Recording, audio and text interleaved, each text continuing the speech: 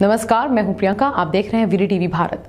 खंडवा ज़िले के बावड़िया काजी गाँव में एक बुज़ुर्ग किसान जुगाड़ का कृषि यंत्र बनाकर खेती करता है। इन्होंने खेती के लिए कभी किसी के सामने हाथ नहीं फैलाए, न ही सरकारी योजना का लाभ लिया। अपने खेत में ही कुटिया बनाकर परिवार के साथ रहकर खेती कर अपना गुजर बसर करते हैं। हम बात कर रहे हैं ग्राम बावड़िया काजी के सत्तर साल के बुज़ुर्ग किसान बाबूलाल दुबे की, जिनके जज्बे को देखकर हर कोई दंग रह जाता है। इस किसान के पास ना तो बैल है, ना ट्रैक्टर और ना ही बिजली। लेकिन अपने 12 वर्षीय नाती के साथ जुगाड़ के कृषि यंत्र बनाकर खेती करते हैं। स्वाभिमान इतना कि गाँव में खेती के लिए कभी किसी के सामने मदद के लिए हाथ नहीं फैलाए। मात्र पौने तीन एकड़ खेत में अपनी पत्नी और नाती के साथ खेत में ही घर बनाकर रहते हैं। इस बुज़ुर्ग की मेहनत को देखकर आसपास के गाँव के किसान भी दंग हैं। बाबूलाल दुबे ने अपनी पौने तीन एकड़ खेत में ज्वार बाजरा का बीज बोया। हुआ है।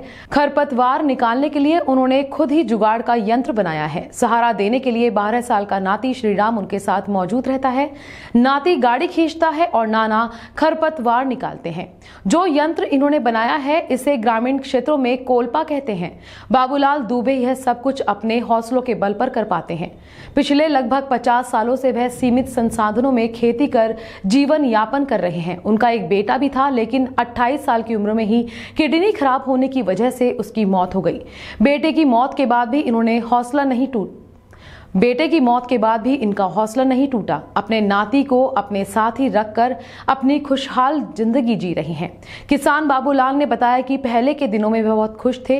बेटे की बीमारी और इलाज में आर्थिक स्थिति खराब हो गई। जब बेटा ही नहीं रहा तो नाती ने उनका साथ दिया। अब नाती के साथ ही दोनों पति पत्नी खेत में ही मकान बनाकर रहते हैं। इस बारह साल के नाती की हिम्मत ही उनके जीने का सहारा बनी हुई है।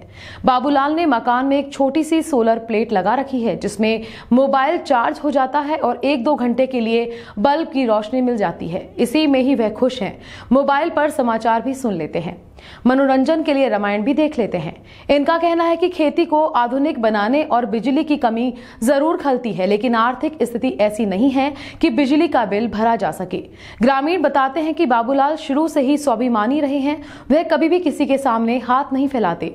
जितना है, उतने में खुश रहते हैं। ज़मीन में जितना बोया है, उसी को मेहनत करके पैदा करते हैं और अपने जीवन का गुजारा करते हैं। किसान संगठनों से जुड़े नेता भी यही कहते हैं कि सरकार ने किसानों के लिए काफ़ी योजनाएँ बनाई हुई है लेकिन वो इतनी जटिल है कि छोटे किसानों तक नहीं पहुँच पाती। बाबूलाल जैसे किसानों को सरकार की योजनाओं की ज़रूरत है। मैं मेरे नाना जी के घर आया हूँ गरीब है और कुल्पा से घर से बेल वगैरह नहीं है तो हमें खेत में हाथ चले करता हूँ। बहुत गरीब है जिसके लिए मैं ये हाथ चले करता हूँ। क्या कोई बेल वगैरह नहीं है तो स्कूल बंद है तो वो मतलब कि कुल्पा से हाथ हाथ देता हूँ। मतलब कि आगे से खींचते हैं। आगे से रस्सी खींचता हूँ। तो मेरे हाथ से बनाया मैंने, साइकिल का पुरानी कुबड़ी जो आती थी ना, पहले कुबड़ी चलती थी, उसका मैंने बनाया, मार मुराई। भाई, जब साधन नहीं होने की वजह से बैल नहीं है तो अब अपन ही बैल हैं अपन ही थका रहे हैं, स्कोर क्या है? मेरे पास है पौने तीन एकड़ ज़मीन। एक में जवार बोई है, एक तो खोद पे दे दिया मैंने। इससे चारा ख़त्म हो जाएगा और फ़सल को फ़ायदा होगा। फ़सल भी खुली उंगी है बीजे पूरी पर्याप्त उंगी नहीं, पानी नहीं गिरा तो ये बैल नहीं है। ये कम से कम मैं तो पाँच सात साल से ये काम कर रहा हूँ हाथ से ही सब। हाथ चलित का यंत्र है मेरा। भाई मेरे साथ में बच्चा है बस। कौन है आपका। ये मेरा लड़की का लड़का है। ये दो दिन के अंदर। कितने एकड़ है ये? ये डेढ़ एकड़ है। हाथ चलित यंत्र। कोलपा। इसको यही अपने कुबड़ी की फ्रेम पे बना हुआ है और क्या जो अपन कुबड़ी पहले पुराने ज़माने में बैलों से खींचा जाती थी वही फार्मूला है ये। भाई इसमें आ जाए दाव तो आठ दस बोरे जवार पैदा हो जाएगी। नहीं यार न नहीं पानी गिरा तो बड़ी मुश्किल से दो बोरे या तीन बोरे हद हो गई। है जीविका का कोई साधन नहीं है। अपने को पेंशन मिलती है छः सौ रुपये उस पर कहीं गाड़ी धकती है कहीं ये इससे फ़ायदा होता है बस। एक ये क्या है सीढ़ी से पका लिया और हाथ चली यंत्र से काम चल रहा है अपना फिर नींदे करेंगे हाथ से। खुद ही। सिर्फ़ तीन जने हैं वो बुढ़िया और दो हम